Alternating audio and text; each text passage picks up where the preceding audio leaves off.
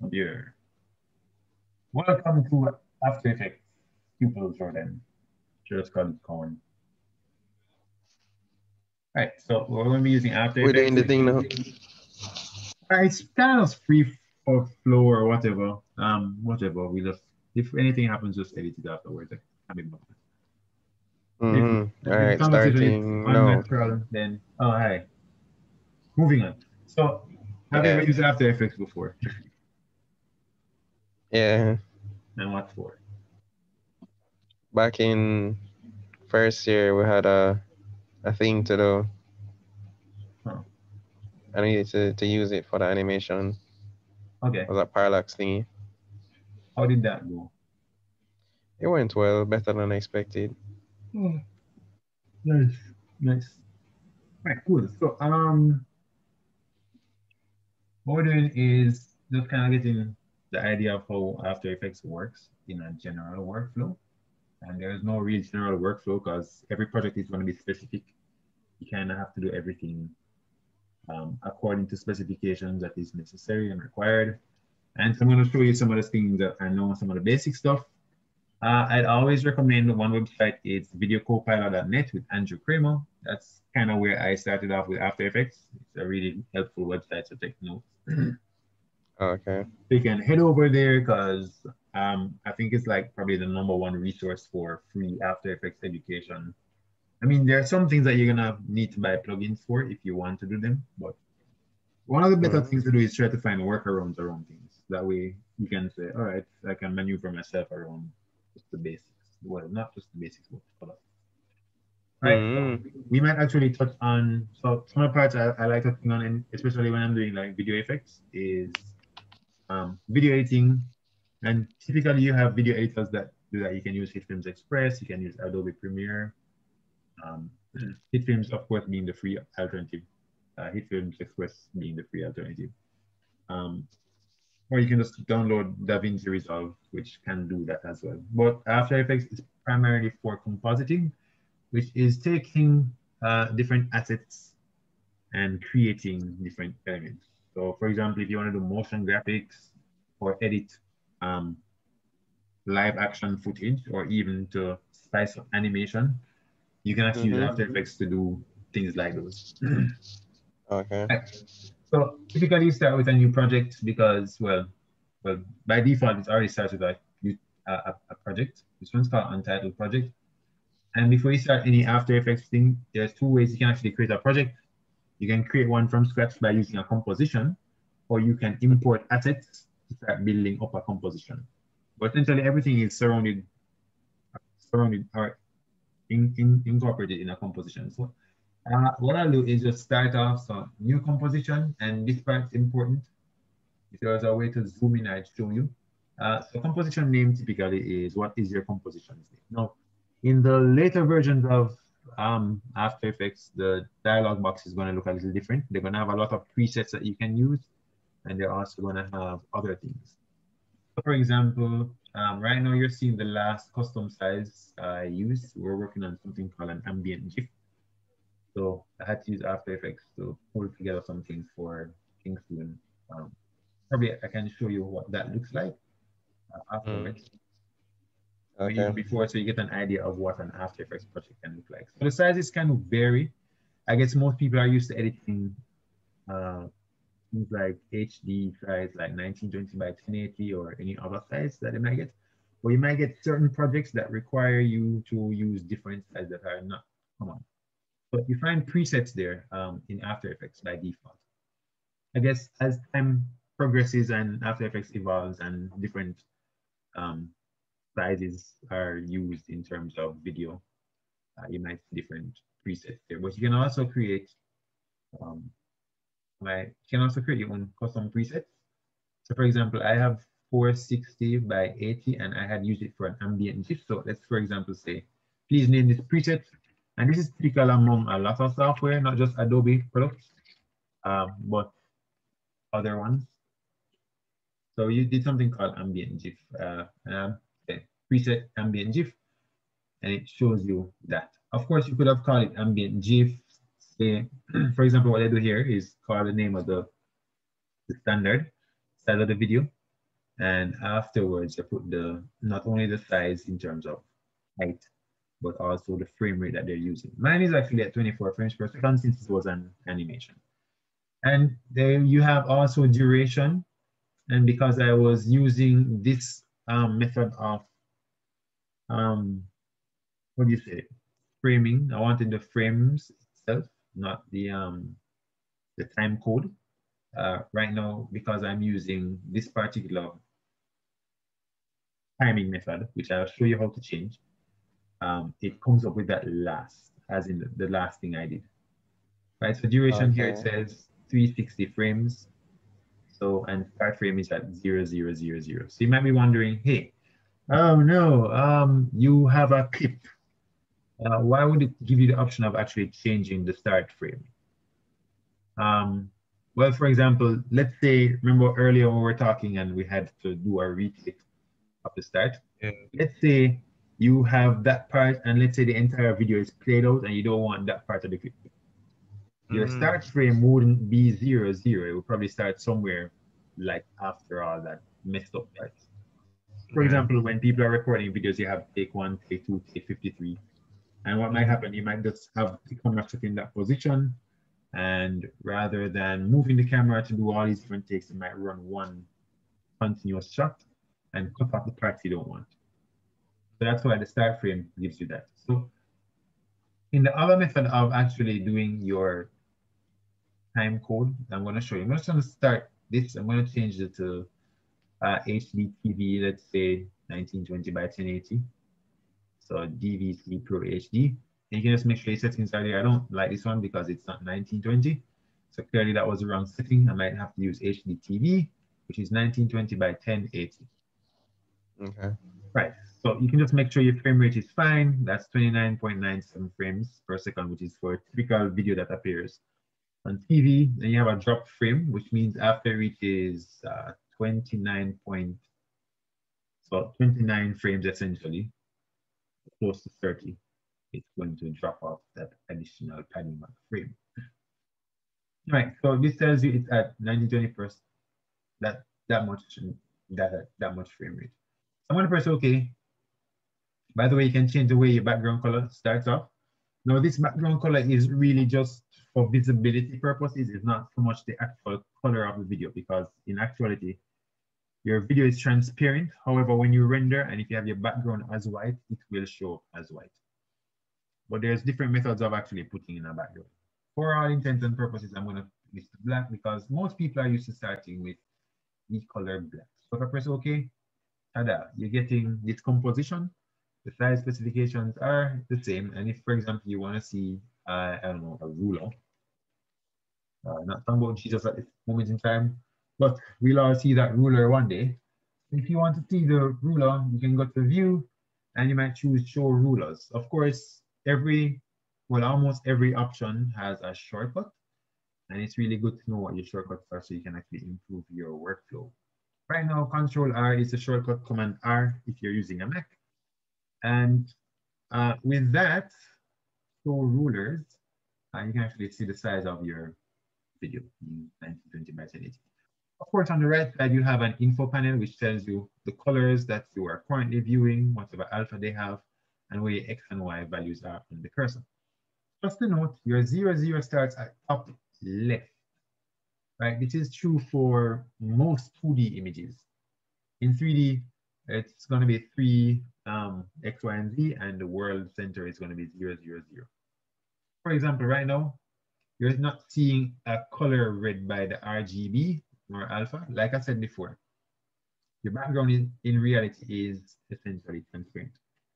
So if you want to see, you have an actual transparency, toggle transparency um, here the transparency grid, so I can turn that on or off, but this tells you what is actually happening in real life. Uh, so if, for example, I want to put an actual background, uh, we have different types of layers. Now, before we get to the layers, I'm going to change the timing um, timing display. Uh, you can do that by pressing Control on a Windows and clicking on it. It's going to change it to the actual time code that we're used to, which is denoted by zero, semicolon, zero, zero, semicolon, zero, zero, semicolon zero zero. The first set of numbers is hours, minutes, seconds, and frames. Right now we started with 360 frames per second before, which is at about 30 frames per second. Uh, it's gonna be about 360. But you'll notice here underneath that time, you have 359, you see the alternate time right here underneath um, you'll see. Let's get used to, um, for example, some of the elements. One, I'm gonna write and create a new, new solid. If, for example, you're familiar with HitFilms Express, they call theirs a new plane. Um, so it's essentially the same thing. It's just a solid color that fills out a space. And you can use it to apply effects to it and add additional things. So right now, the size is 1920 by 1920. That's a full square. But in the event you want your solid to be composition size, you can just hit make comp size. And here you can actually change the color. Right now it's black, which you can just leave and press OK. Now, you realize something a little bit different. When I hover over the actual solid, it's going to be in the info bar. R is zero, G is zero, and B is zero with alpha as two, five, five. Right? Now it's important to show you the different layers because every layer has a certain set of transform um, operations. So for example, we have this solid column or solid thing. And what I'll do, just to show some additional layers, I'm going to create a new one. And I usually like starting off with text. So let's say, uh, give me a color, Jordan. Blue. Blue. Oh, welcome back, other Jordan. Is the fact that the two always say blue. That's the Ah, I don't do drugs. Ah, so let's use blue. Give me a word. Something age appropriate, please. Here comes the laugh. you want the object. Fine. Anything, I don't know. It doesn't matter. Just a word. Rock. Have any particular font choices? Rock salt, why not? Right, so we have the word rock salt, and we're just exploring the transform properties of each layer. So if we actually expand the layer, and you can see here, these little arrows, you can actually expand. And most layers will have, if not all, will always, will, like I said, most, if not all, will have a transform option here. For other layers such as rock, or if you are using, for example, shape layers or the camera, uh, you're going to have specific um, those things. For example, rock has text as well because it is a text. So there's going to be some text options. But the transform properties are typically these. Anchor point, position, scale, rotation, on and up opacity. Right, I'm going to tell you what the shortcuts are. Um, for each layer, right, we have anchor point, which essentially is this control center point here that you're seeing right here, or control point, anchor point, pivot point. Depending on the software, it has different names. And you can actually change where that pivot point is. Right now, as I move the pivot point, it's maintaining its position, but it's changing how that anchor point works. But because this is a text, the anchor point can actually be changed also by uh, our paragraph mode. So for example, we typically have, well, in this particular um, here, uh, our paragraph is right now center text, or center align. If you hit left align, it's going to move the anchor point to another position.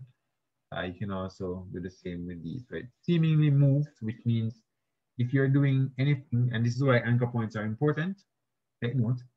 Um, if you're moving position, it's going to move the position based off where the anchor point is. Right now, looking at the anchor point, you're going to see 960 by 540. And if I use my cursor and go somewhere there, you're going to look over at the info um, panel here, and you'll notice that it kind of is very similar to that. 960 by 540, somewhere about there. Um, not perfectly with the most, but somewhere there. That's where your anchor point is. Even so, your scale you scale from an anchor point, right? So if you do any scaling, going to scale from there. And you can do your rotation from your anchor point, right? This is why your anchor point, again, is important. And also your opacity is the, probably the only option that is not controlled by your anchor point. For example, you guys the animation, and if you were doing a character, um, which I mentioned earlier, um, rigging a character in uh, After Effects, you would actually do your rigging based on your anchor point. Opacity, however, is the only thing that's not controlled by anchor point. For example, if I choose opacity and I go like so, and it becomes a little less transparent. Uh, a cool thing is when you hover over here, right, you can see the color as well.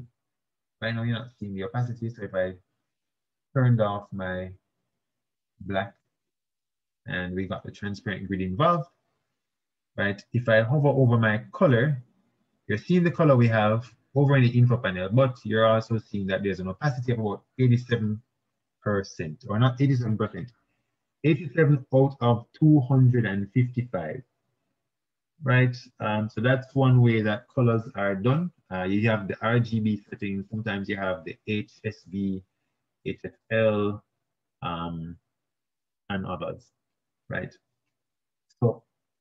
That's something that your info panel can tell you, which to be honest, I've never really used the info panel, but just knowing that that is there is good to know if, for example, you have a specific color you want, um, and you want to identify exactly which color it is, you can actually do that. Or just use the eyedropper tool that is provided by almost any uh, panel or any property that uses colors.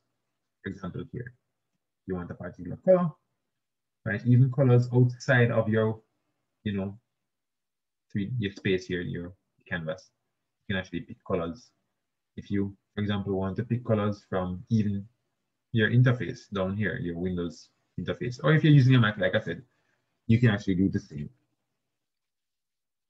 Right, so let's actually get some work done, some animations doing. Um, haha, lol, doing. So uh, background is there, uh, and we want to play with, for example, this. Let's say you want rock to move on the screen, and I want to, tell you what the, for example, the, the shortcuts are. It's good to know the shortcuts, especially for your control, your, your transformation options. I'm going to explore that. Let's do that. So right now you're seeing A, P, S, R, O. So here's how it works. Uh, and this is like a little acronym you can use to remember. You have P, which controls position, so you're gonna see them appearing. Uh, A, which is for the anchor point.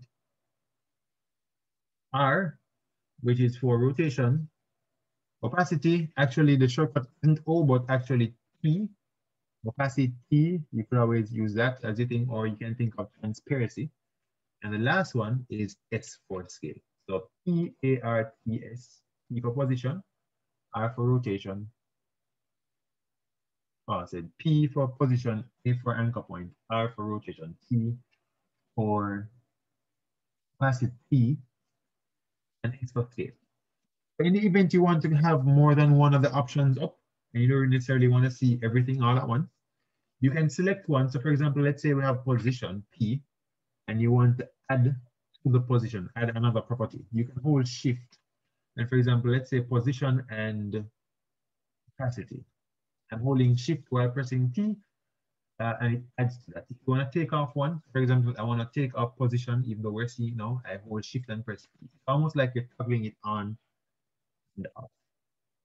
Right, so P for position, you know, P again. So you can toggle it on or do it. So if you press one at a time, they're only going to come up one at a time. If you want to add to them, you hold shift, and you can get additional things on there. Now, right now we're seeing rock boring and we haven't done anything yet. So this tutorial so far is a bunch of me talking about things and not actually getting things done. So let's do rock. So you have rock. What we're gonna do is have rock come on screen. Now, uh, when I started using After Effects, I didn't quite understand how the exact things to do to work because I'm more of a person who would um, explore and try to figure out how things work. One of the things I was used to is like, for example, I used to use Adobe Flash. At the time it was Macromedia Flash or Adobe Flash now anim, Adobe Animate. Uh, and you think that, hey, use a time indicator and just because something is there and you want to move the position, you probably might think to yourself, all right, cool. So maybe I start a position here, move it about here, and then change the position in there. And you probably think, okay, an animation is supposed to happen now. That's not how it works.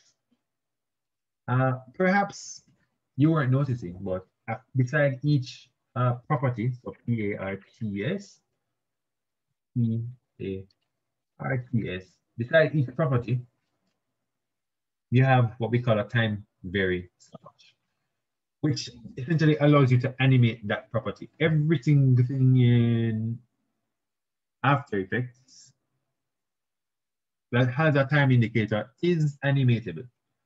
That includes text as well. So, uh, for example, we're going to move this from left to right just to start off, very basic. But we're going to move, and if you're moving something from left to right, think of it as position. Now, wherever you want the animation to start, that's where you put your time indicator. So for example, if I want to start after two seconds, I move my time indicator to about And you can choose to go forward or backward. Uh, let's say for about one second or so. We're gonna have this thing move across like.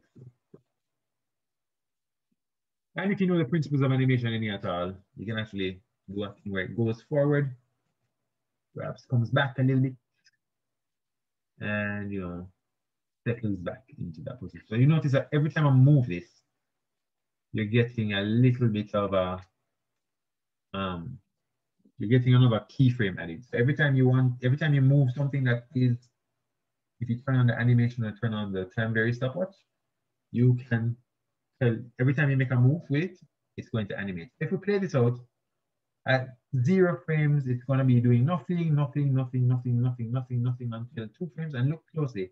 When it hits that keyframe, you'll know over here. There's a little that tells you what kind of key, there's a keyframe there. I don't remove keyframe. So for example, if I play this out, and we usually have to, you can actually kind of scrub this. This is what we call scrubbing. And it goes a forward backward, forward backward.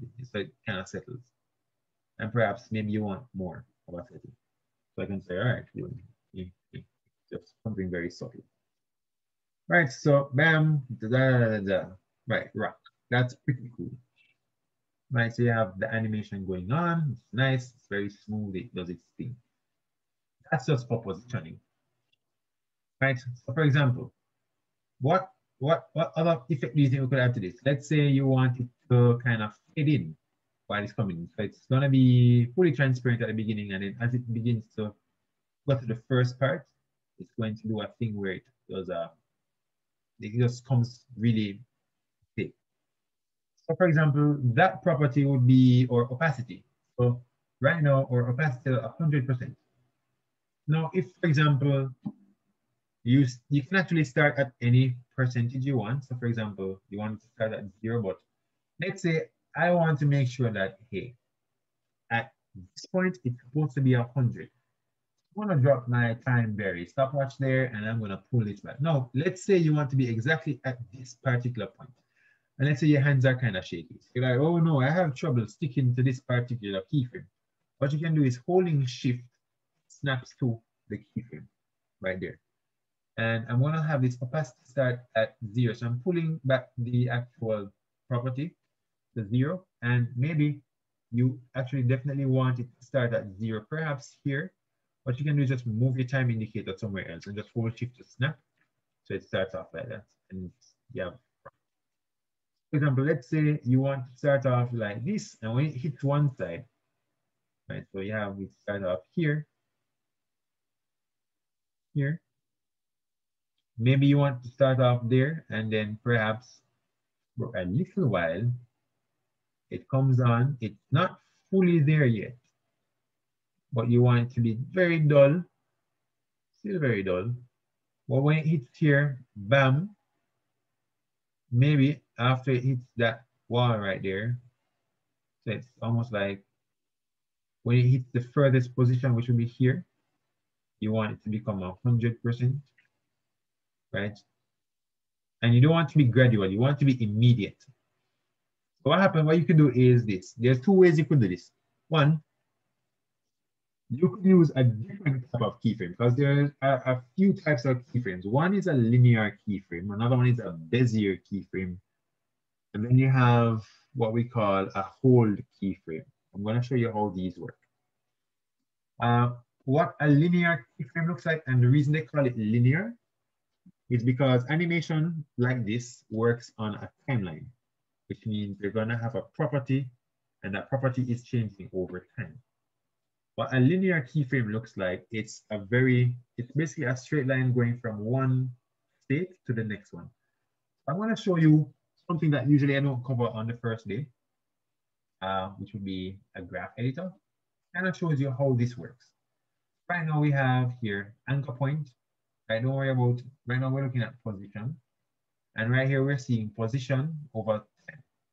But right here, it's basically I don't know why this is 3000. I'm gonna change the way this looks. But let's say we have that. That tells you that much pixels per second. And afterwards you have this. Right here it drops. Why is it like this? Give me, give me two minutes, I'll be back. I have something to do. Fine. Let's play the opacity instead take us to that one. Show, show animated properties. I'm gonna hide. I don't want to see this one. I want to see. I want to see the right one. Is this one? So you have both positioning, and you have also opacity. You can see opacity here. The highest uh, property for opacity is 100%. So think of these as values. If I was to zoom in, oh, can I just click on this and auto zooming graph? No. Can I, can I not zoom in? Oh my. I would definitely love to zoom in. It's like I don't have that ability. yeah. Because I want to show you what the linear keyframe looks like. Right, let's look and change the, the view of stuff. Right, so we have fit all graphs, fit selection to view. I really just want this part here, just here. That and this. All right, looks like I just have to work with that. Oops. And so essentially, we have this here starting at zero, and the graph is going up. The reason why this looks like this is because of our positioning. It's taking on some very high values per second and then slowing down that frames per second down there. So uh, just looking at this only, and if I could just even hide or delete this positioning, would have been probably easier to understand. But you have it going from zero to 30%, and then from 30%, it's going to 100%. Like I said, it's really difficult to see because 0 to 3000, it's just doing one particular value.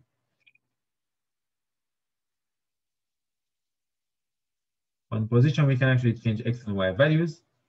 Right now we're seeing this, and this is what looks like a spline. So it's essentially taking on some values here. We could actually change this to a regular linear keyframe by actually selecting that keyframe, right clicking on it. Change the keyframe interpolation from continuous Bezier to linear, and it's going to be very, very stiff. So this is what the linear keyframe looks like. It goes from point in a straight line and then continues over. Again, it usually tries to do a straight line with the linear one. You can always right click and just change that time keyframe interpolation to linear. By default, After Effects tries to smooth out your animation, but I'm just trying to show you the example of a linear keyframe, which is essentially when everything here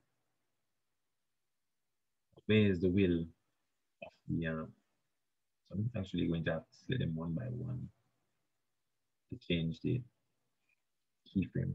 Insert keyframe um, linear. Right, but that kind of shows an, an idea of how things look in a graph. Besides that, it looks very much like this. So I could, you know, select the whole thing and just say, oh, well, let's just make the whole thing linear, you know? Press OK, everything becomes straight, everything becomes stiff, and we have something looking like that. And the reason why we're seeing the X and Y position is because I made a split in the graph editor to show those things. I actually wouldn't usually do that. You could just make an X and Y value thing here. But this splitting of it actually can become useful in some regard. For example, back to the drawing board. Hopefully I haven't confused you yet. But right now we're just doing a thing and I'm just gonna zoom out what I have here. It comes in, low opacity, it gradually becomes 30% like we had 47% both here, 30% here, and then from here to here becomes 100% because of this transition between 30 to 100. It's going to use the time it has to do a transition uh, in a linear way. Right, but if you wanted this to, for example, snap on the dot as soon as it hits that furthest point, like I said, there's two ways you could do it. One, lower the amount of keyframes between them. So for example, you get a bam like that. There's no in-betweens, right? There's no tweening happening. So there's no, not gonna be any transition because the keyframes are too close. It's almost like if you have a one-year-old and a 10-year-old, and there's a 10-year span, you're gonna see some natural growth occurring. But if, for example, you let a one-year-old become a 10-year-old in one year, you're gonna have a very quick transition, right? Or even better yet, uh, a baby becoming a 10-year-old in a day. The closer you put the keyframes, the, the faster the transition, right? The reason why I said you can do this two ways, one is by putting the keyframes close together. The other one, which I'm gonna show you now, is, and I'm gonna be playing with opacity. I'm gonna delete this. I can insert a keyframe here, and the type of keyframe I'm gonna use time, I'm gonna right click. I'm gonna probably change it to a very low keyframe, so 21. Right click, uh, keyframe interpolation, and from linear, we're gonna change it to a hold keyframe. Of course, there are two ways you can create a hold keyframe. You can just choose toggle hold keyframe from here, and it will toggle a hold keyframe. What the hold keyframe does, it creates what we call a step animation, which means it's not going to transition from one state to the next state. It's just going to change states immediately.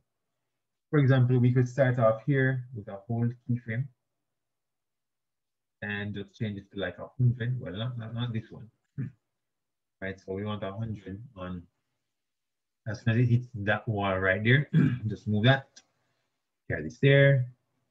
When this does that thing at the furthest point here, you could say, all right, carry back to a lower one. Or in fact, go from bam to this. And when it hits this side, it's going to lower the opacity right? So let's say it does that. Comes over here, does that. It's brighter. Comes over here, becomes taller. Comes back over here to settle and becomes brighter again. Then when you're playing that out, now you notice as I'm moving this, there's a little green area here. This is you caching your frames, which means you're loading up those frames into memory. So when you're playing it back, right, it knows what to do. Because here it doesn't do anything. From here to here, it does nothing. From here to here, it's basically at a standstill, so it's not going to do anything. So there's less way to worry about. Because that green part has loaded, when I press play, even though I'm at full resolution, which you can actually change, press play, and it'll play out naturally. Bam, bam. So there we have very simple animation. I probably over-explained it, um, but hopefully that, that helps a little bit. Do you have any uh, suggestions as to what I could possibly do next? Or you like to see, if you have any, uh, what's the word? Like requests. If you're still there, that is. If you're not, I'll just continue to do something else. Motion blur. All right, lovely. Love that idea. So motion blur. All right, so how do you do motion blur in this? Well, After Effects has multiple ways of doing motion blur. One of the things to get motion blur happening is you have to turn on automatic motion blur. So here we have something that says enable motion blur for all layers. Note with the motion blur switch set.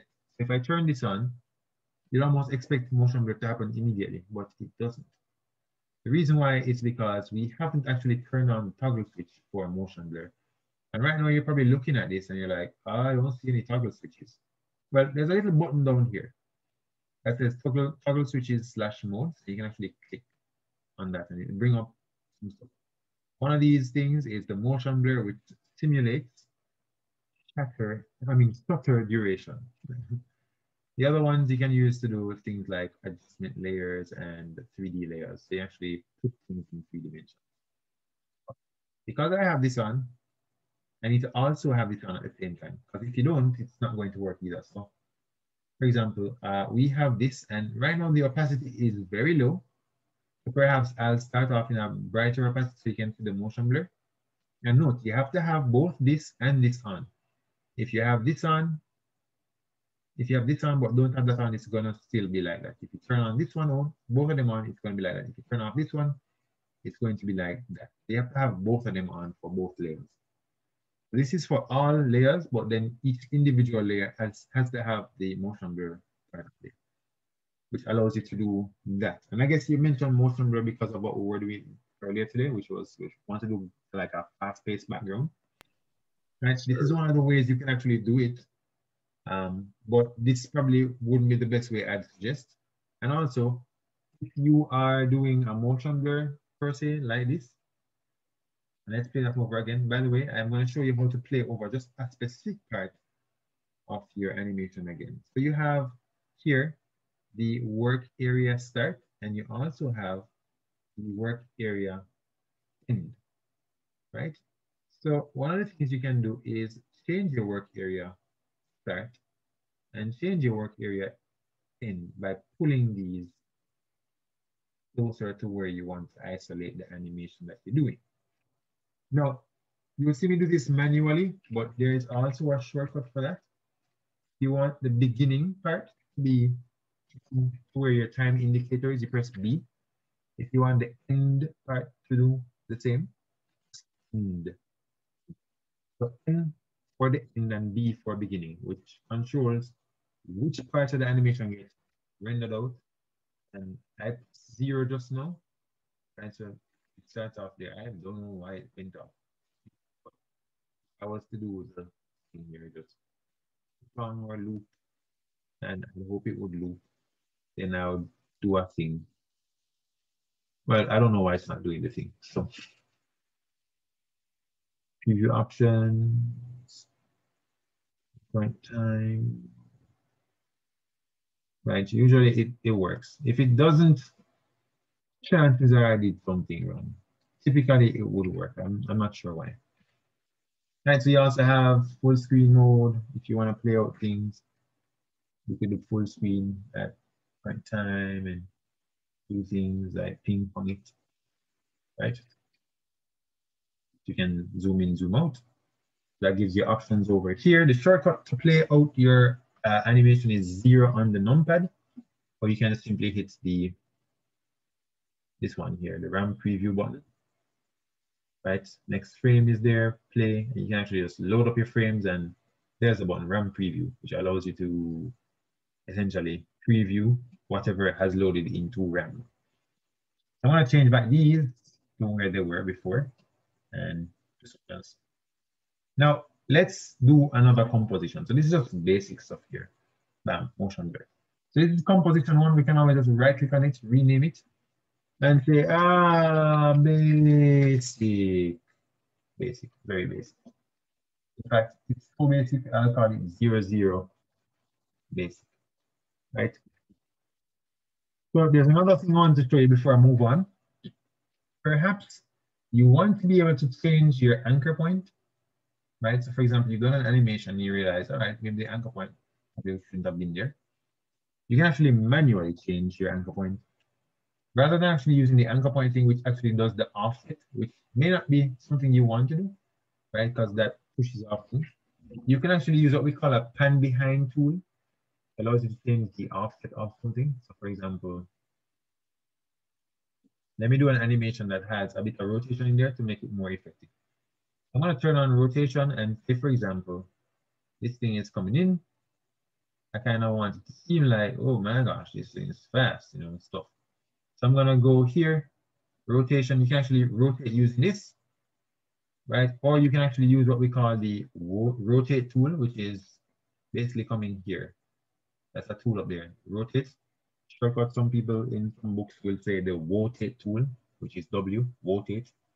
Just remember the shortcut. Also makes it sound a bit silly, but that's cool as well. Bam, with rotate that a little bit. And as it's coming, you know, you're gonna have that, oh yeah, really kind of a thing. Right, so wheelie in, maybe you want to go back a little bit. And then afterwards, bam. You want that follow through. So it's gonna go from here and almost like a bam kind of a thing. You want this to be zero, zero, zero, right? While it does that thing, so earth, boom. That's what if you wanted it to do a rotation at the back end there, bam.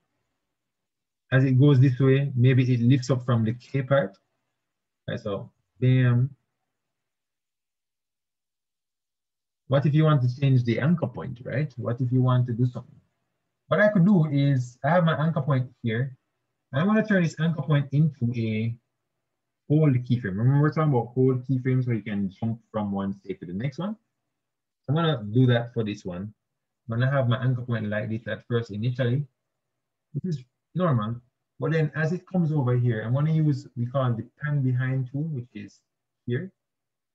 Oh wait, oops this one panning behind tool. I'm gonna change my anchor point, which you can have to be careful of because the anchor point does take um, your stuff from your positioning, right? So you will see that happening there. Ooh, sorry. You can use your X and Y values to do stuff right? So knowing what that's going to look like, you can probably change your positioning, position, positioning of whatever it is you were doing before to where this thing was. Oh, this is breaking everything. Perhaps not the best thing to do. What I can do, however, I don't want to be preemptive, but we could actually have something else control the rotation on the other side, which kind of feels preemptive. But let's do that. We're going to create a parent-child relationship. I didn't really want to touch on this yet, but because I already said I wanted to do that, I'm going to try and commit to doing that. So I'm going to create a null object, and a null object has its center at the top left usually, and I can use that top left to do that. The thing I'm going to do is make it rock text at a child of said null object. To go like this and click on that. So it now tells you the parent of rock is now this null object, which means if I wanted to do exactly what I said I wanted to do a while, ago, which is where I have rock do this, right? And then we want to rotate again, kind of the way we had it there before, right? What happens when you have a parent-child relationship? The child can go anywhere the child desires, but when the parent is ready to move, the child kind of has to just follow, right? For this null object, I'm gonna use rotation. I'm gonna set my keyframe there. And because I want this thing to do things, it's gonna have it do rotation thing like this. Let's see if it works actually, because this is purely experimental. So one keyframe there and do a rotation. and rotate this thing, is going to be like this. But you can see what the problem is, right? Because you rotated the positioning. So when it comes to parenting, positioning changes, um, location changes, even your scaling can change. So that's one of the things that you can have to be mindful of when it comes to doing your rotation like that. And there's ways to circumvent that, but as you can see, it's not exactly the easiest process for me right now, being I just want to cover something basic without confusing you completely. And the other way would be to kind of manually do this and kind of play with the positioning on this and say, okay, positioning is like that, huh? All right, so when you do your thing like this, right, we're gonna have to, right, so that up there. Let's say you wanted to make sure it follows, you know, initially where it was going to go in the first place. Bam. Right, so you want position to change, positioning P, right? What you could actually do is just move this down like so. Two controls gonna happen. It's gonna be like um yeah, right? And then afterwards, because I'm saying I'm committing, right? Rough.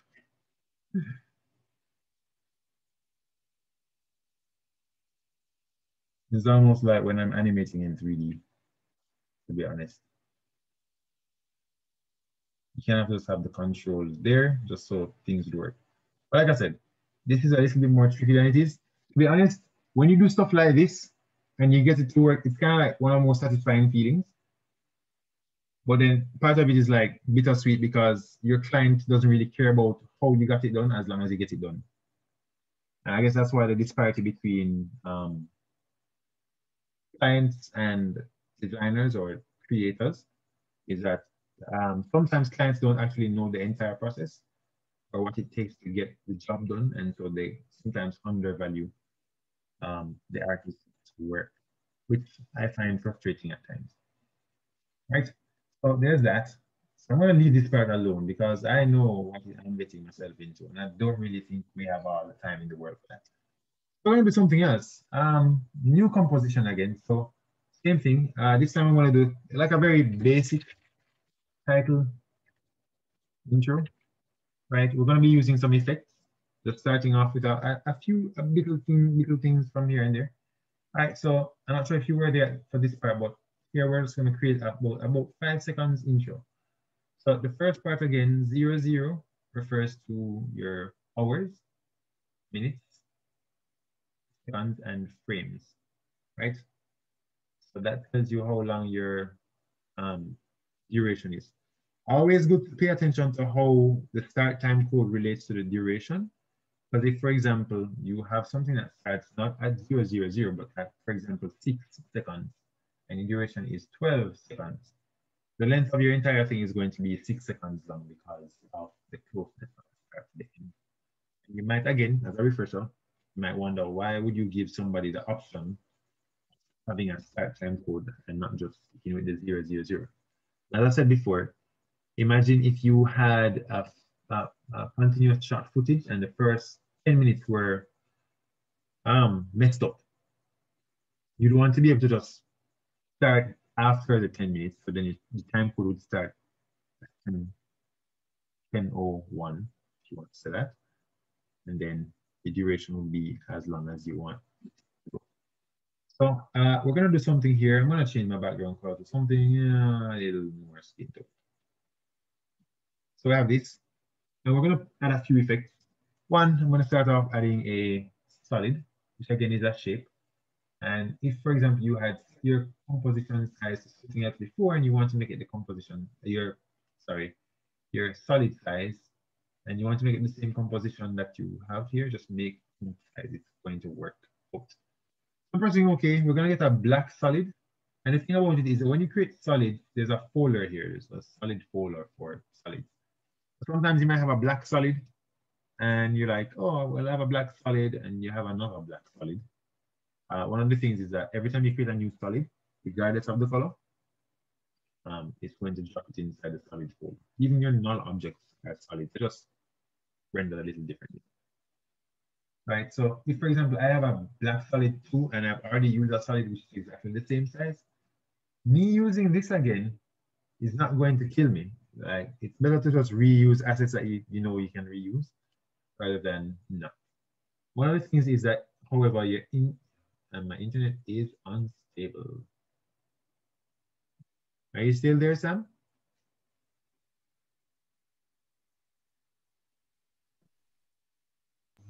We are still here, Jake. Yes, Well, I am, know sir. about them, But I'm still here. Rough.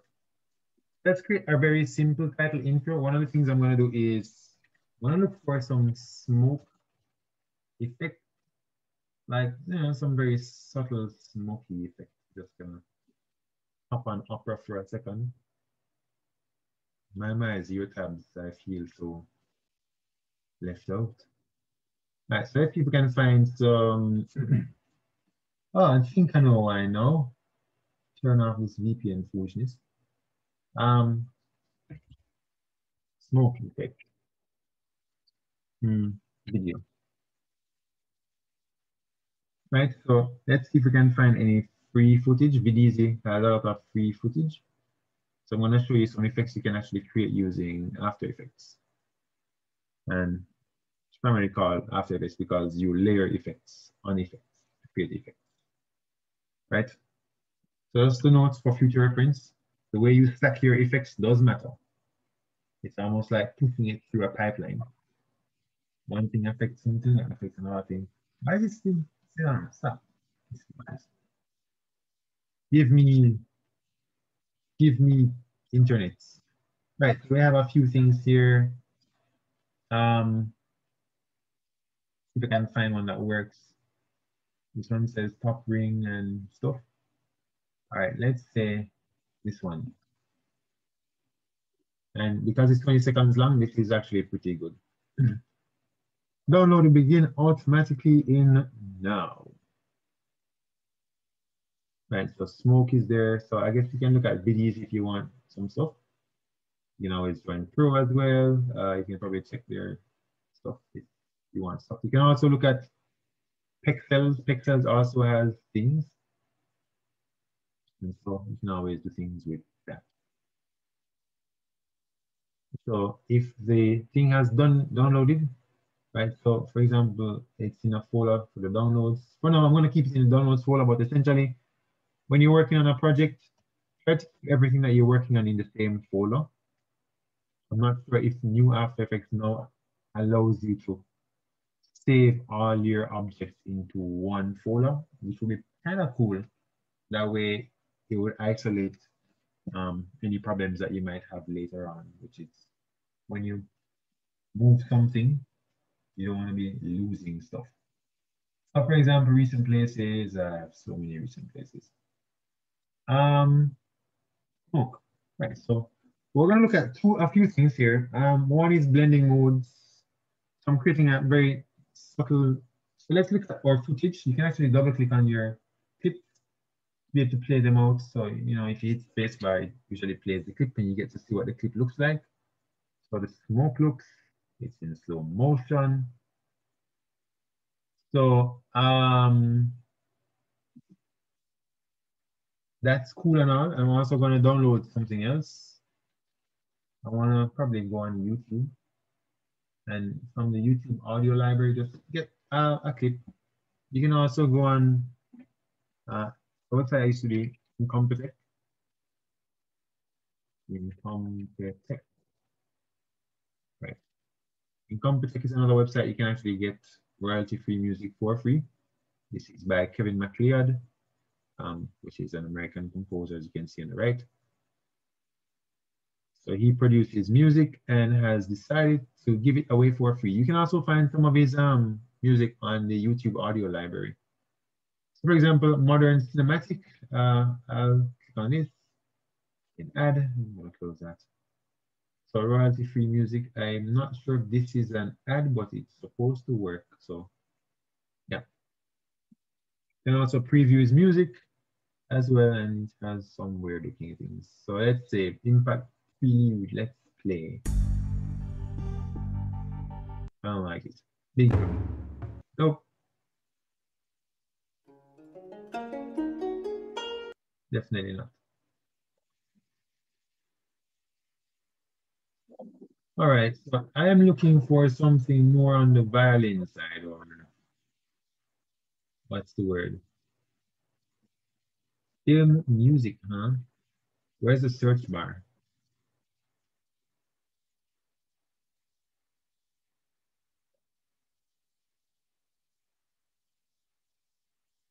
You can actually buy his music now. Nice.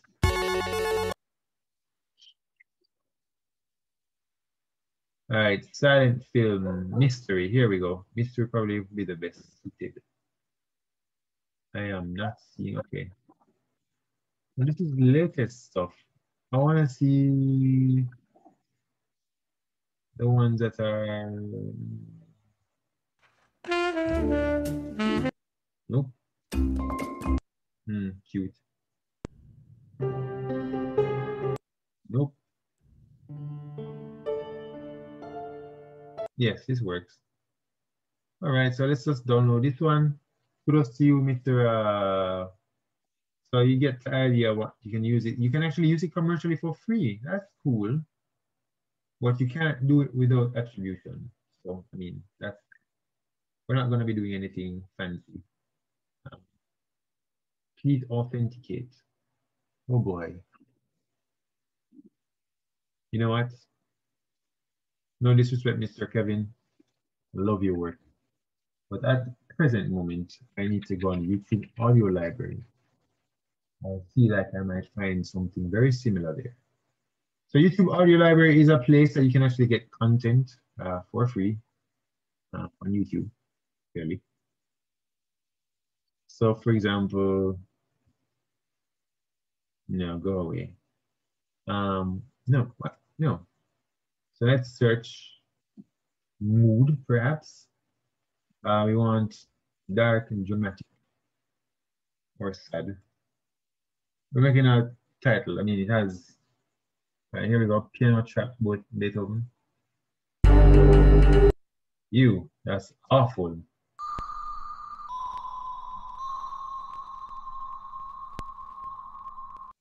No. Away. Sometimes I just feel away, but not today.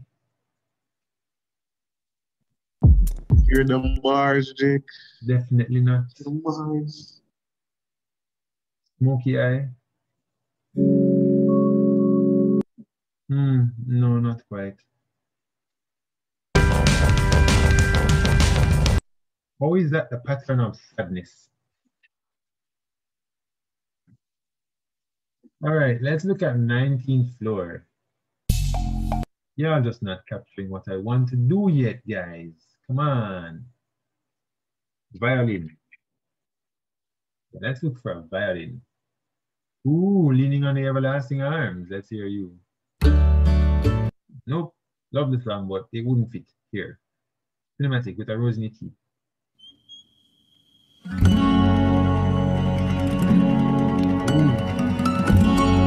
Yes, this, this could work. Yes, yes, quite right, quite right.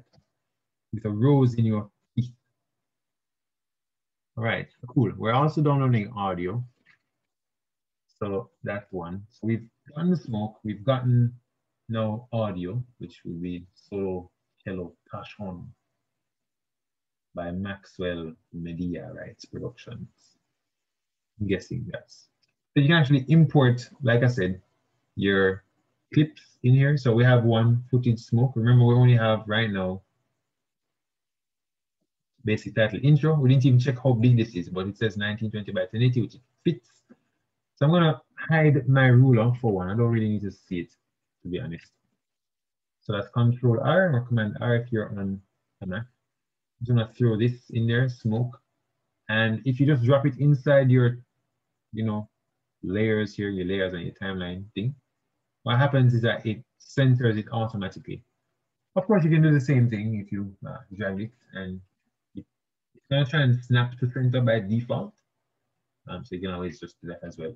And if you just pull this, it comes up with all that beautiful stuff. All right, so I want a title. Give me something. Um, I'm gonna make use black this time. I want a text. I want um, I want something that would work.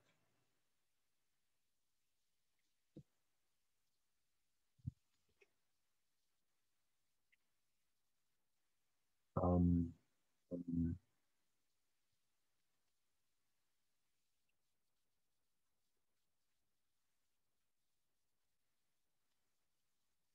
So shadow of his wings, I'm gonna take off the stroke as well because I don't want to end up in a hospital. So change that rock thought to something else. By the way, I think newer After Effects give us a better way to view the fonts. Change those strokes and nothing. Be gone with you and your nothingness. Shadow of his wings, rocking typo. And I don't quite fit the mood. Oh, Paul Mall. Yeah, this works shadow of his wings. We're not going to really do anything with the, the words. We're going to add the effect to it. Uh, so shadow of his wings is there. We want this to be in black, and you might ask yourself, uh, why use black? We're not going to see it. All right, so we have that. We have this in there as well, shadow of his wings. That looks kind of cool, doesn't it? Now, here's the thing. It works right now because we have a contrast between black and white. But what if you want to put in another clip? Let's say you want to do something else with it. What if you want to use this clip, this shadow of his wing text, and you want to use this image here, this video, sorry, as a mask? Now, remember, when it comes to masking in, for example, particularly Adobe products, white is going to be the thing that shows it, and black is the thing that makes it look like it's hidden. So because this video is already black and white, it's very very easy for us to do things. All right, so we have shadow of his wings. And what I'm going to do is we're going to use this thing, this, this, this smoky effect, as a um, mask. So one thing you can do is put the smoke effect over the text. I want to toggle the switches again.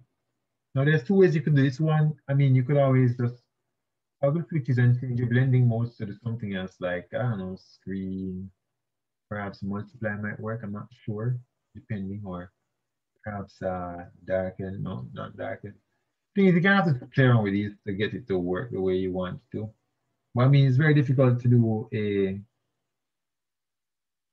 what's the word? Very difficult to do a overlay using something on a black background. So that be easier you use a different background. So this is not working out for me.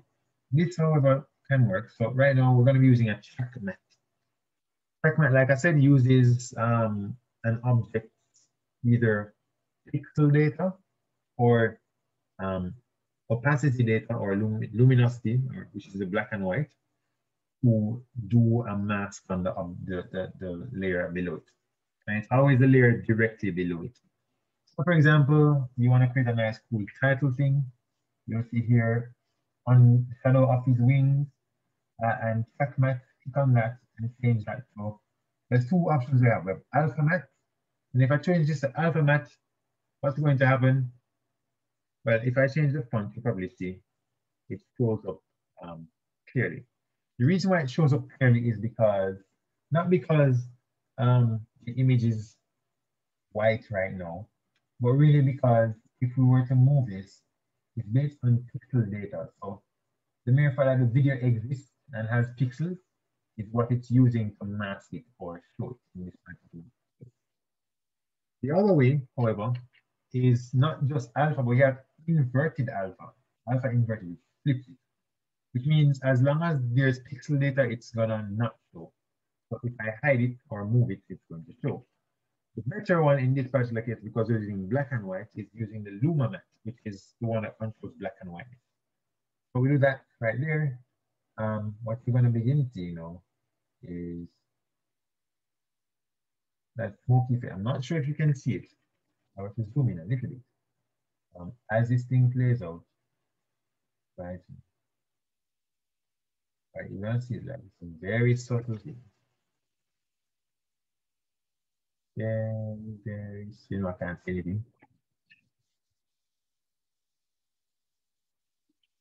Right, so what I'll do I'm going to change this to black and white so that we can actually see what it looks like in black.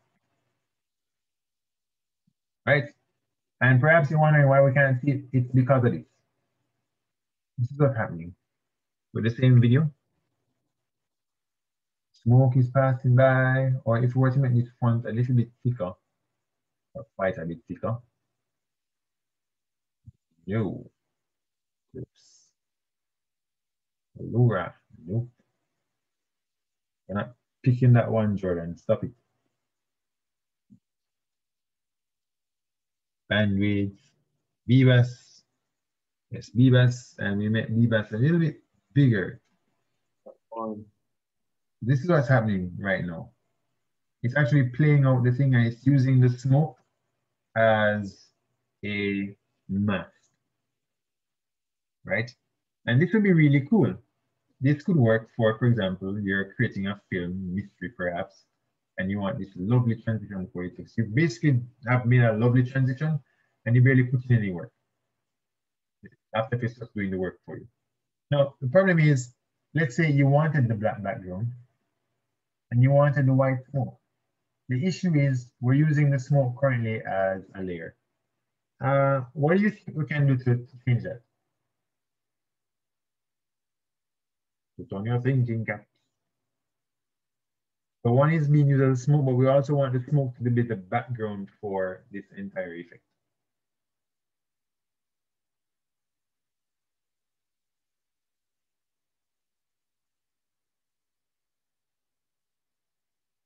Your time has elapsed. We would duplicate this. So duplicate, you press Control D, create a copy for you, which has none of that fancy Luma matte thing. You can click and drag it down underneath your stuff. So when it plays out now, right now you're not seeing it because currently our eyeball thing is off, layer visibility. So now you have this. Getting to see something like that. And if you wanted to, if you really wanted to, what you could do is on this thing, because this is the thing controlling that stuff. We could add an effect. This is where effects and presets comes in. I'm going to show how to use like a blur. And I'm going to use a very common blur called the Gaussian blur. Gaussian blur. You can drag it, not on this I mean on the top one to be honest, but just be certain. Top one is there. Increase that. Right, probably not seeing any difference. Reason being because what we're seeing now looks like this. And that's not really changing much. Right? The other thing is that After Effects is not going to read. You can see that the changes, subtle changes, subtle, very subtle changes. Um, actually increase the size of that to get even more of a blur, which will give us more of a look like that right? So, right, so you're getting something looking more like that. And if, for example, you say you want to have a little bit of it showing before, or what if, for example, you have it in blue, what if you wanted to show it in white first, and then have the smoke overlay in black? Wouldn't that be cool? So what I'll do is duplicate also this shadow of his wings. Control D, right? And we want this in white. Remember we mentioned before you have um, the Luma matte and you also have the Luma matte in first. What we can do is with the first one, it's going to show a cool line. So like this, but you cannot still want to see the black.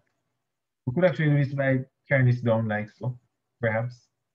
Maybe about here. And that shows up like that. This isn't working out the way I want. Well, then you can also do this and do the same thing you were doing with this control D. Get a copy up here. And rather than using Luma matte, mm-hmm. we use the Luma inverted, mm-hmm. which means it's going to start off white, The smoke does a thing and it becomes black. Right, so shadow of his wings. And when the smoke runs out, you know, it returns back to white if it ever does. Or you could go as far as to say, all right, cool, that's cool. We're doing this. Shadow off his wings. Smoke, smoke, smoke, smoke, smoke. Amazing. Blah, blah. And then afterwards, you decide, all right, cool. Uh, this can actually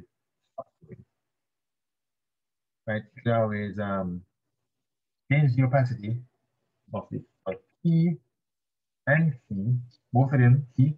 So if you select both, click on one, hold control and select the next one, and set the opacity of both of them at the same time. And just say, all right, cool. Let's just have it fade to zero. Once you're both selected, both of them will fade to zero. Right? So you could have something like this. And that would be it. Almost looks like milk, to be honest. And you could have smooth it out even further by right clicking and pressing uh, keyframe interpolation and changing that to uh, Bezier or you know something else Bezier or something. And you press OK, gives you that look smoothness. Right, so we have shadow of his wings, ta-da.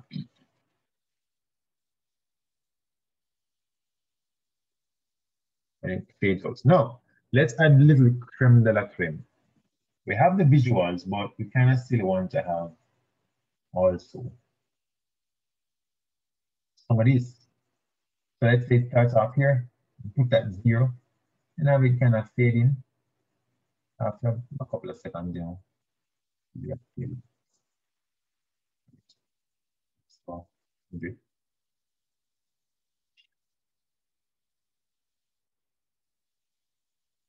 Right, let's look in the audio now. Right, did we import the audio projects? Yes, we did. Hello, uh, platform, and just put it there. Uh, so we can actually have the audio. So if you play it as is, I'm not if you can actually hear my audio. You should be able to. Um, let's RAM preview this. You're gonna probably see some stuff occurring. Right, so I'm gonna press zero on my numpad. It's gonna try and do that. And so one thing to note as well, while I'm doing the RAM preview, what happens is that right now I'm in full resolution, which means it's gonna play as though you were rendering it. If you wanna speed up your workflow, you can always choose to lower the quality while you're doing your stuff. It's relatively negligible depending, but I mean, when you're scrubbing through, you're gonna see it and it's gonna come back to part. And you could actually press zero to get it to do the RAM preview. How it play out, right? And do that stuff. I know it's actually rendering on for the music with it, right? I'm also going to show you how to manipulate the um, audio as well. This is like we have basic intro thing. Then I want to show you how to do create an intro with just um title sequence, uh, like just After Effects things without importing stuff.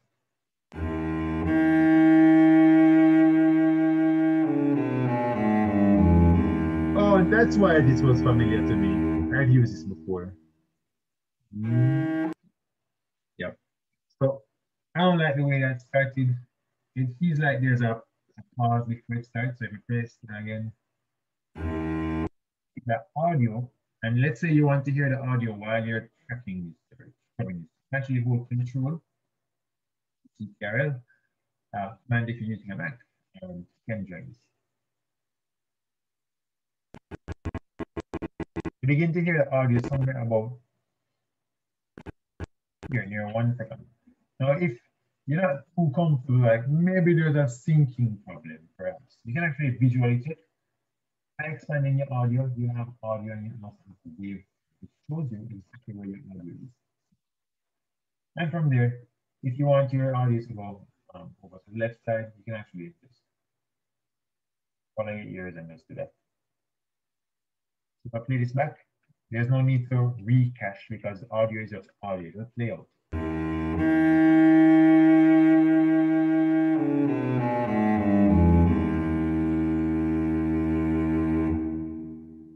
But what if you wanted it to kind of fade out to nothing here, rather than actually starting up something again? But What you could do, at the timing doesn't seem bad, you can actually add audio levels to it as well. So I've just added a keyframe from my audio, and I can tell it to just go to negative 48 decibels, which is basically me telling it, hey, shut up, in a sense. So it's not going to play anymore. Audio you can see by the waveform. Does that as well. You can actually play with how that looks as well. So with that you can check out. So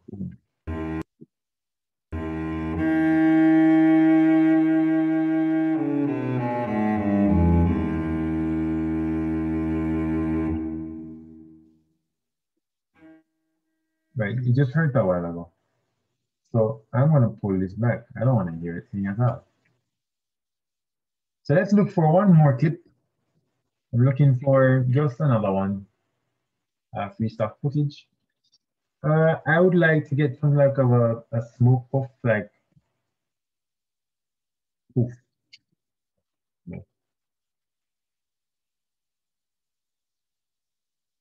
Something that just poof and then just disappears, you know. Something I can use with light. Smoke concept transition. That's rising smoke? No. Smoke texture? No. Let's see.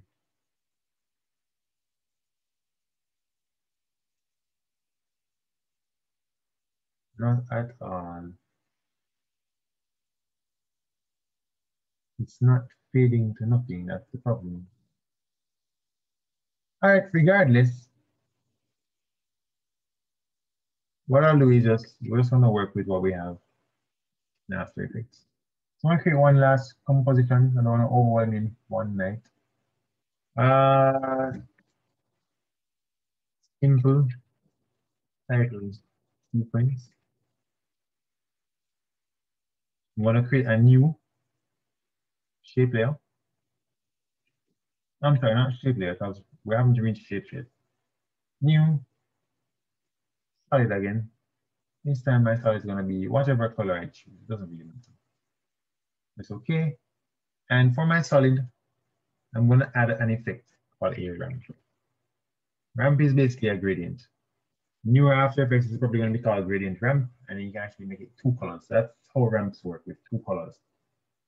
Um, I can make one color, perhaps, something like that.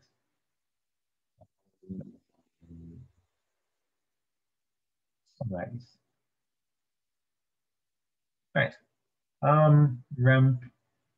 And um, we're going to change that from a near ramp to a radial ramp. So actually would have preferred to have my lighter color up here. So I'm to change that.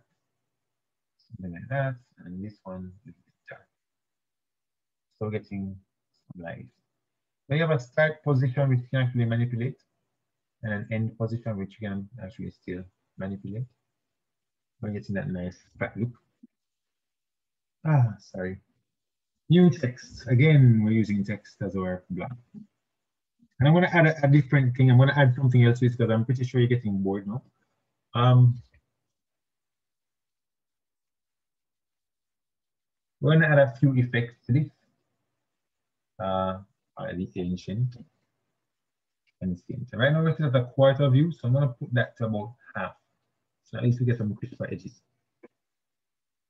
Uh, and I don't mind the font. Mm, that might be a little bit too much. You know, scroll through or scrub through to see which one you like. Ancient. The ancient. This one actually doesn't look bad. But I still do like the Bebas look, to be honest.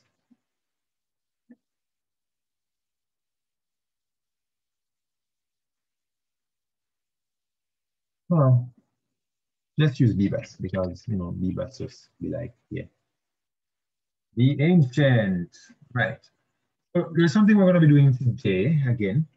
So we have ancient. We're going to be, I'm going to be showing you how to use the the text animator, which is where things get start getting kind of cool. we want to take this in stages, uh, piece at a time.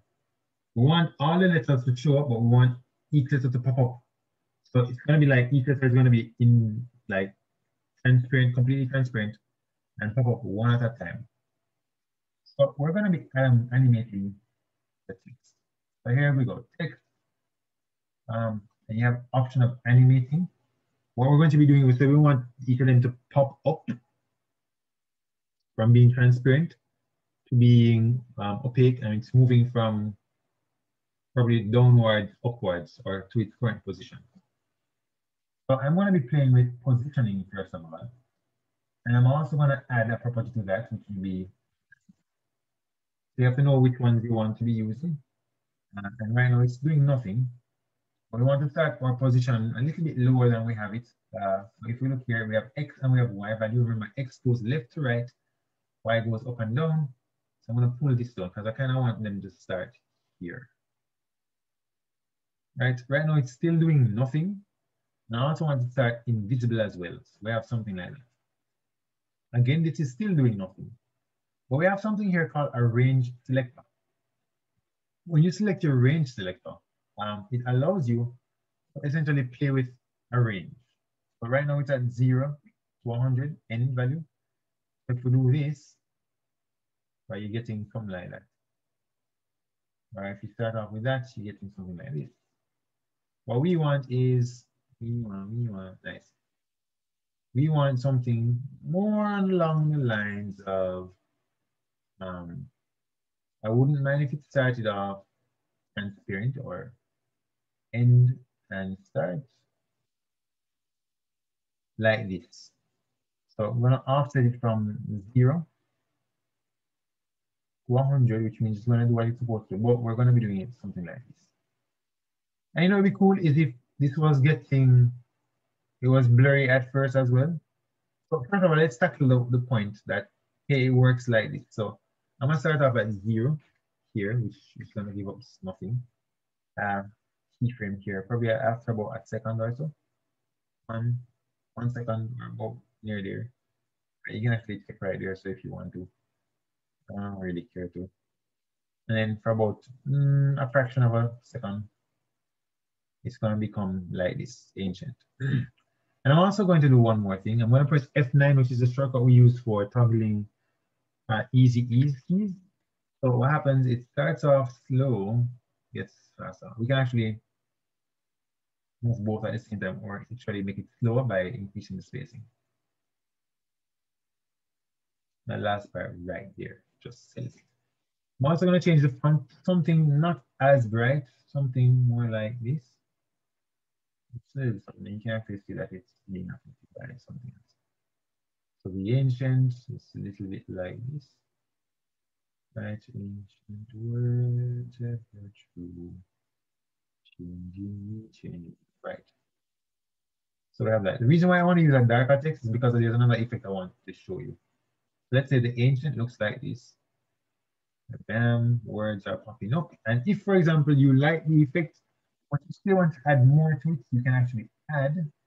For example, I might like, I don't know, there's a blur property. And perhaps I want my start it blurry. So as I have the blur property on, I can add this because it's going to be following the same range, I mean the same range selector. You can actually pull off something like this. Right, something like that. Depending on what you want to.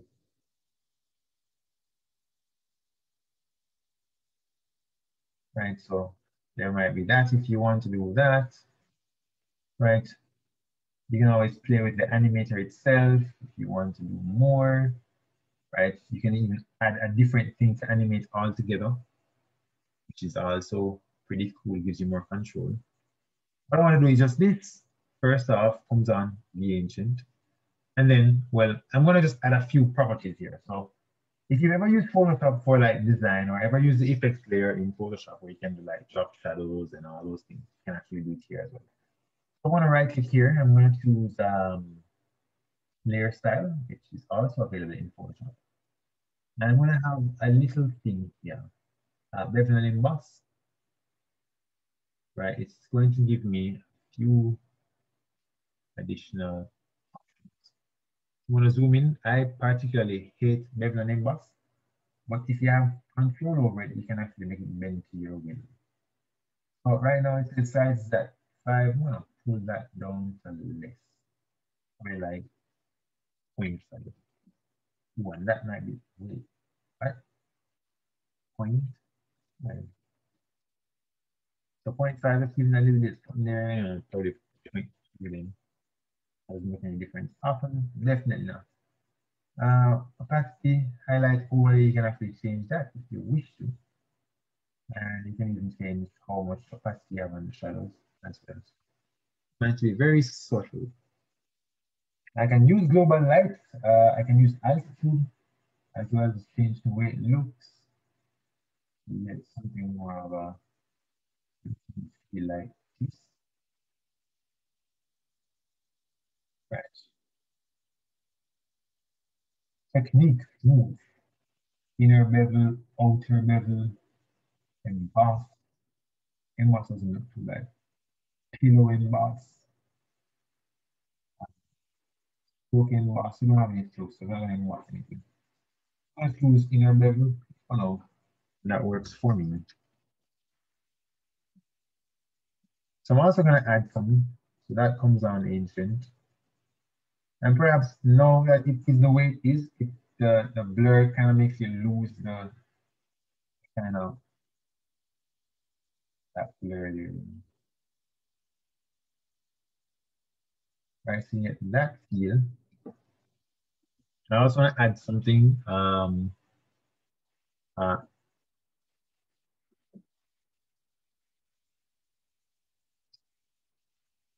So we have um, not jet stream, light, saying something with lights, not backgrounds here are the presets.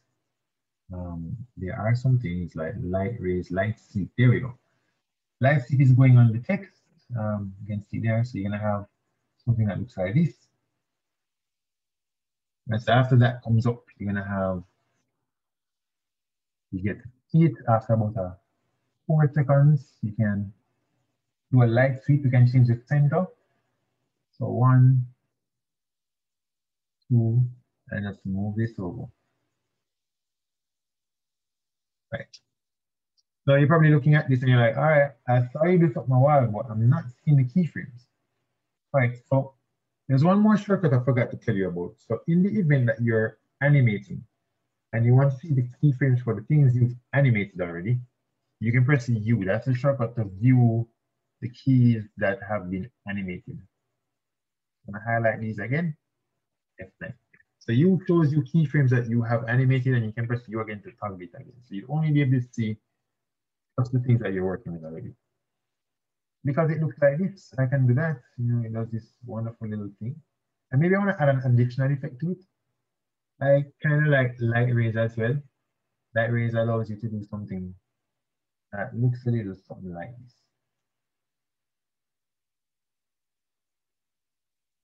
Right, but I want this only to happen while this thing is moving across. For example, I'll start up here and again, for the light rays, I'm going to change the color, this color from source. That means it's gonna be brown like the source. Of course, you can change that and you want to be white like whatever is here. But it doesn't seem like it's gonna be kind of you know, effective if the light isn't happening at the same time. But we notice the light flip starts about here.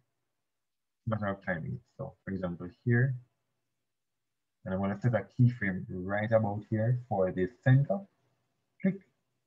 And as it's going across, it's kind of gauge the timing and just do your own thing as well. Right, what's gonna happen, I'm pressing U, you're going to see no additional keys popping up. So I'm to set a keyframe to F9. When it plays out, you're getting something like that. Right, so that's kind of cool. But what if you wanted Flitter to jump at the same time by doing that whole light streak, you know, to show that little Mexican wave kind of a thing? Wouldn't that be kind of neat? Maybe. Right, so we have the text, the ancient, right? So it's doing stuff that lights if it's happening, which is kind of cool. Right, I imagine if I wanted it to jump again, I might actually have to add another animator, which would be the positioning, which again allows me to change things. Right, so let's say we have that as our thing. I have a range selector for this as well.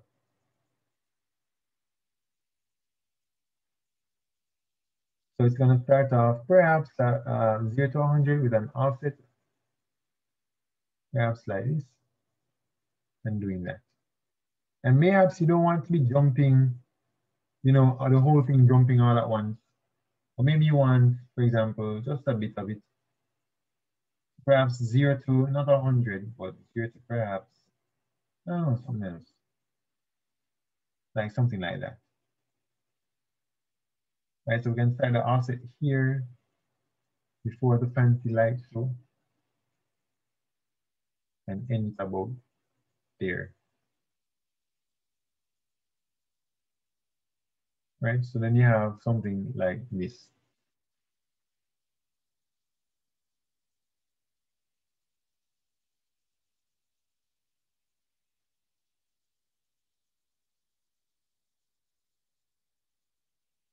So this is where you want to really start.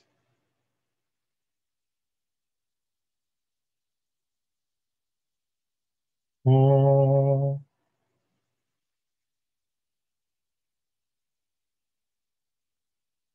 Right, so being that this is as is, the um not the light switch so much, but the um light rays, the light ray centers are somewhere.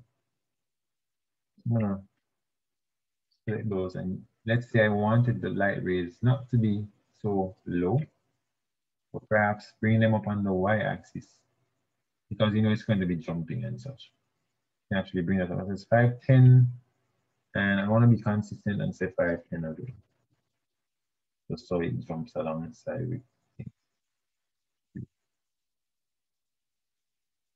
Oof.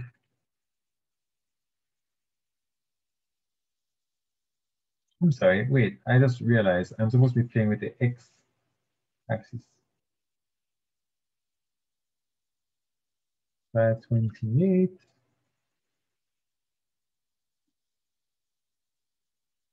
Actually hide those as well. Um, right, so we get that. Lovely. Yes, Chloe.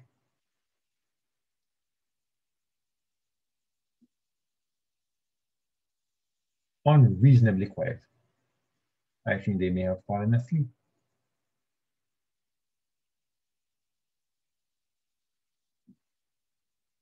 Uh, so that's what you have the ancient, don't even do a kinetic typography video. Ancient of days, the ancient of days. Right, the ancient, and we could call that a night. I mean, the additional stuff we could do. I feel like this is enough, right? Um, to get what you need done.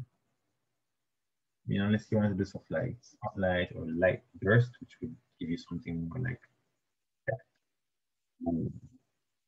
Right, which we don't really particularly need. Right, than fade, want to remove that light burst. We have those options and we see how things work. You know? So if you want to add like the holy music and stuff, you know, you can do that. But I want to see what we have so far. So file, save as, and I will change that to um, no project export. Multimedia, Bingen, I will call it uh, After Effects. After that, after hours. Hmm. 5001 basics. So hopefully that was uh, insightful. And one of the things I recommend is definitely practicing. You don't practice, you won't get it. Right? And if you don't get it, then that's on you. Ah, so have yourselves a good night, gentlemen. Oh, and I'm gonna add one, just one more thing before I finish, because this effect looks cool. I'm gonna add a new, and I'm not even going to add a new solid because we have enough black solids to go around. A simple title sequence project. Uh, we have a black one here. I'm going to chop that on top of everything. And we're gonna add something called lens flare. So lens flare is pretty useful. Right? Right now it's a lens flare with, it's basically covering everything. So the blending mode we'll use and the blending mode that makes dark colors turn to nothing is a screen blending mode, which essentially looks like this. The event that you want to do something like, like so, as the ancient, and um, for example, if you want to be behind it, which I would never recommend, this as well. Because the lens flare has different types of types, um, different lens types. You have the prime and you have the 105 millimeter prime and whichever one tickles your fancy, you know, you can always do that. So then you get something looking kind of like this. So for example, if it's going across, you know, bam, and then you have the amazing that. Why not go all out with the lights, right? So for example, I might start off here in terms of flare brightness being zero. And then we're gonna animate the flare brightness for one. I also gonna animate the flare center. And just as this is about to start off, you're gonna fling that about here. And you're gonna increase the flare brightness to whatever amount you want to. Right? It says blend with original. You can do that if you want to, right? You know, I good certain percent there. You know, whether you want to be like that or not. So, I'm gonna leave mine about 20%. Um, and we're gonna animate again. F9, two things. And again, also looking at the ancient one here, we're gonna carry it across because you want that um, movement of the, um, the flare center on the x-axis, we're gonna cross like so. Right, and after it reaches about here for that, don't forget that, you know, that looks beautiful. You also want to make sure that you're keeping the same intensity across. So I'm gonna set a keyframe there. And as you begin to fade out, so for example, you continue moving on the x-axis, you're gonna have this thing become zero. So then your ancient title text will be something like this. Right, and you can add additional effects, um, like so. For example, uh, the music we have probably doesn't fit in, right? Well, maybe we might need some um, sound effects, like video game sound effects work for things like. Like I remember using RPG Maker XP back in the day. Right, Oh, that's our OG right there. and they had so many different sound effects you could just use for other things. So, um, holy sound effect. Right, see if there's any places that holy sound effect for plugin. Every different websites you can probably get a sound effect. Sound effect. Uh, imagining that's going to cost me something, so I'm going to check Soundsnap.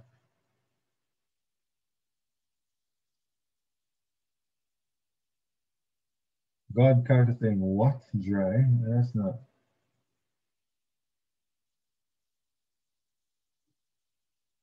Guessing these don't work.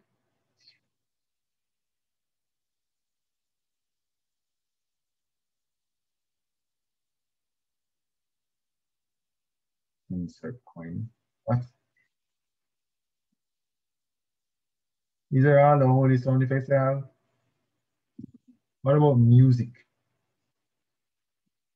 Holy choir, dance.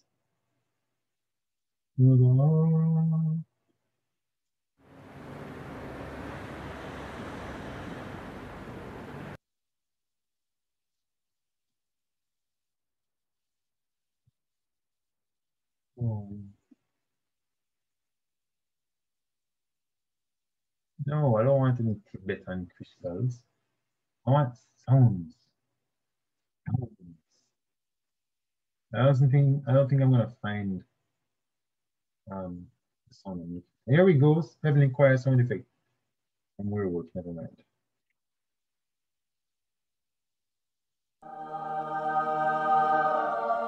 This is very common, isn't it? There we go. That that works. Can I get this sound? All right, lovely. Soundboard, you have helped.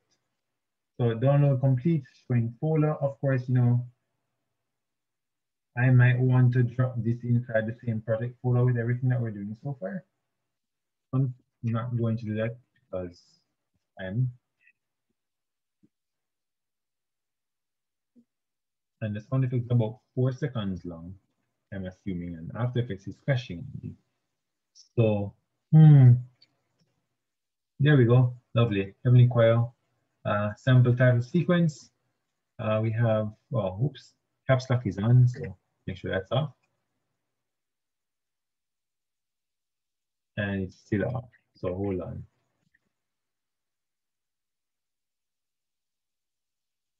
Right, so here we go, wonderful. Uh, where do we imagine the phone to be? Uh, probably starting off here.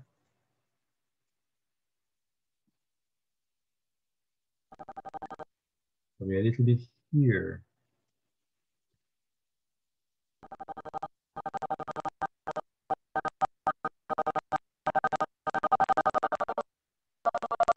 Or mayhaps it starts off here. Let's play it out and see. Let's let's do.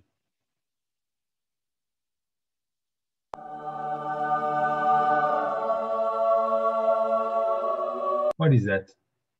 Play it properly. That's way too fast.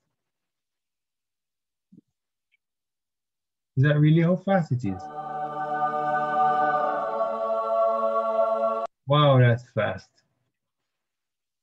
Right, so if the timing is off, of course, you have to go back inside each of these keyframes.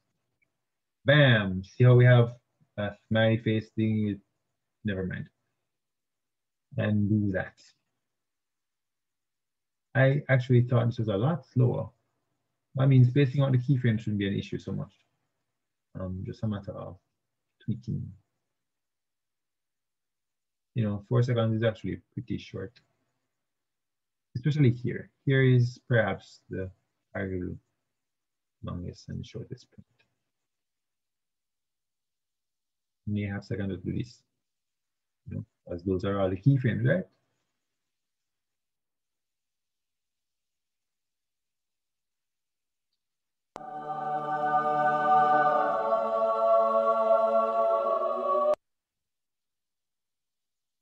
And I don't like the way this ends so abruptly.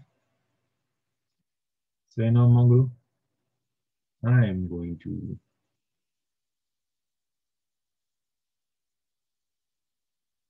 this thing. Where's the thing that tells you that the light, the flare brightness, we can actually stop the flare brightness from being that bright after about here. So for example, it goes up to here. In fact, moving it is probably not even an, shouldn't have even been an issue. Um, X value, just shrink it, you know, from there.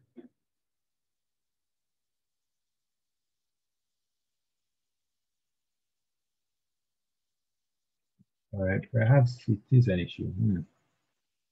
Positioning wise,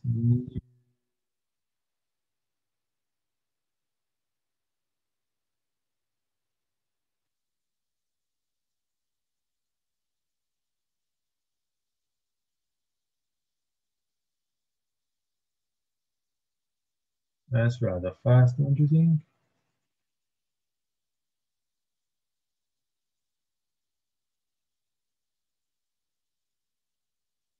Right, there we are. Something of like that.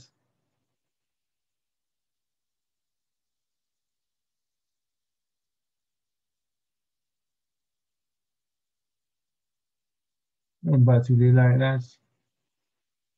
But, I mean, lesson learned.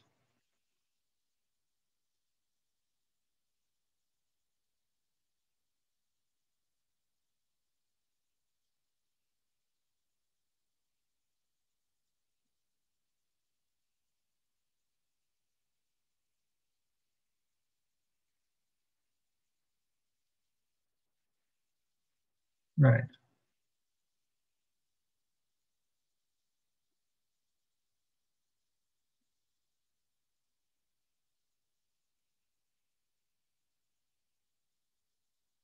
That's what we need is continual movement and fading.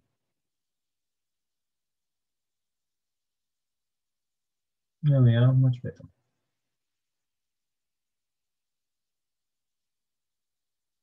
And yeah, that's it.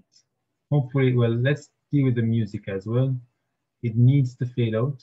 Um, so we'll expand that, change the audio, change the waveform or change the levels and kind of have it fade out from here to about here.